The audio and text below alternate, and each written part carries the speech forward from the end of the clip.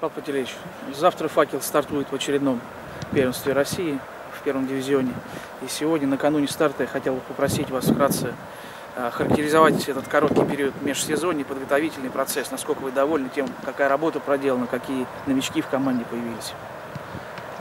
Ну, в преддверии старта чемпионата хотелось бы поздравить всех наших болельщиков с началом этого события. И хотелось бы, чтобы они получали как можно больше положительных эмоций от игры и от результата команды «Факел». То, что касаемо короткого межсезонья и прихода большой группы э, новичков, новичков на сегодняшний день 8 человек у нас новых игроков, то они пришли все в разной степени готовности, разной степени готовности, с разных команд, с разным стилем игры. Поэтому для того, чтобы выйти на оптимальный уровень готовности, потребуется небольшой ну, временной отрезок, несколько туров.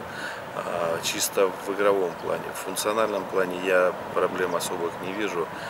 Ребята находятся, ну, скажем так, в хорошем состоянии. А то, что касаемо игровых связей, для этого нужно будет время. Нужно будет время и набраться терпения и болельщикам нашим. Возможно, будут какие-то, может быть, не, не те результаты, на которые мы рассчитывали, э, рассчитываем все. Связано только с одним, с, вот именно с, с сыгранностью. Павел Пантелеич, ну по пятибалльной шкале, как бы вы оценили степень готовности команды к старту в чемпионате? Ну, на четверочку иду. Я бы оценил так, на четверку, если по пятибалльной системе. Все, опять же, вот, связано с этими нюансами.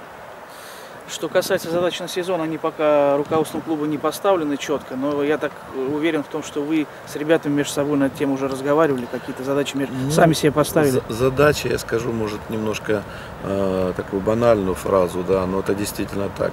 Задача одна, задача одна. Показывать качественный футбол, который нравился бы нашим болельщикам и э, добиваться в каждой игре, стараться добиваться положительного результата. То, что касаемо, э, если брать по э, турнирной таблице, место в турнирной таблице, которая займет какая-то команда. Можно ставить любые задачи, но они должны быть реальные. И я считаю, что с учетом того, какую мы провели селекцию, какого уровня пришли к нам игроки, то задача будет не ниже, чем то место, которое мы заняли в прошлом году. Это и э, понятно, что шестое место, да, может быть, оно слишком, ну, скажем так, неожиданно для многих и специалистов было, и любителей футбола.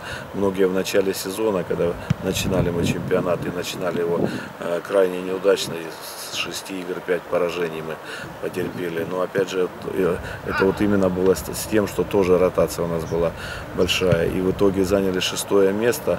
А, шестое место довольно высокое для дебютанта. Да, если брать пять команд, которые пришли э, с, э, с профессиональной футбольной лиги, футбольную национальную лигу, три из них покинуло дивизион. А, пятое место Спартак московский занял и шестое мы.